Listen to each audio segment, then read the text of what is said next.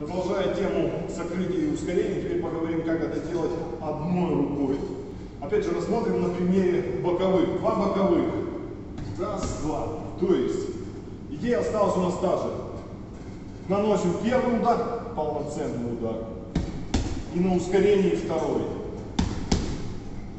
Главным элементом будет здесь не действие только лишь рукой, а силу придаст именно вложение массы таза.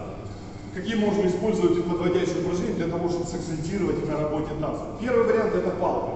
Берем, упираем таз, плотно упираем партнера и здесь за счет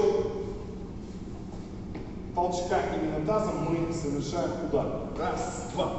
То есть, соответственно, можно это делать и в движении. Раз, два. Вторым вариантом при самостоятельной работе это будет резина. Мы уже рассматривали. Одеваем на плечо.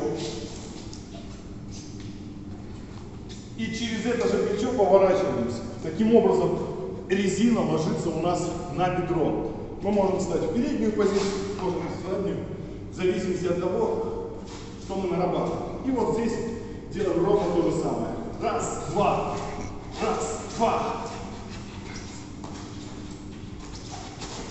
Здесь более жесткий акцент и усилие ложится на работу таза.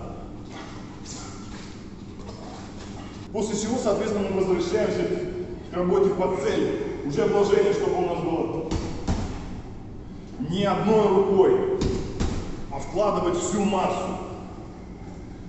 Здесь мы можем понять, поймав движение на примере боковых, мы можем уже начать импровизировать. Например, это может быть боковой апперкот, либо апперкот боковой, боковой прямой.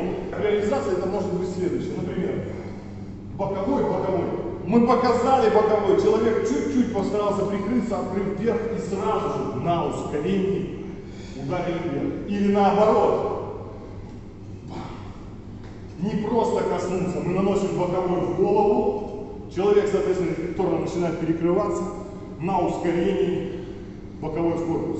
Либо, опять же, боковой в голову и апперкот снизу. Либо показали, ударили боковой, человек чуть-чуть уйдет и сразу же на ускорении апперкот по корпусу. Человек может плотно прижать руки во время боя. Тогда, опять же, на ускорении. Зацеп боковой или зацеп апперкот по корпусу. Перекрылась, голова перекрыта. Не достучаться. То же самое. Зацеп и на ускорении боковой. Точно такое же движение будет, если пойдет его удар передней рукой. Фу, на ускорении. Если пойдет одноименной рукой, соответственно, боковой будет здесь сложнее, может быть перекрыт. Соответственно, здесь у нас будет прямой. Поймав движение тазом и принцип ускорения, мы начинаем комбинировать уже произвольно любой вариант.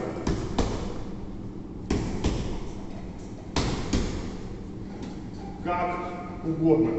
Следующей степенью развития это будет, конечно же, нанесение вариантов троек.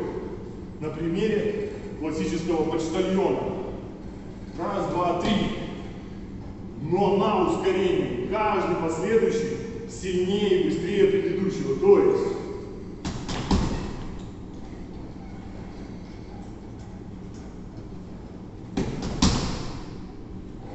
ускоряемся и пробиваем. Первым коснулись рук, вторым пробили сквозь руки и третьим закончили. Важным будет ускорение.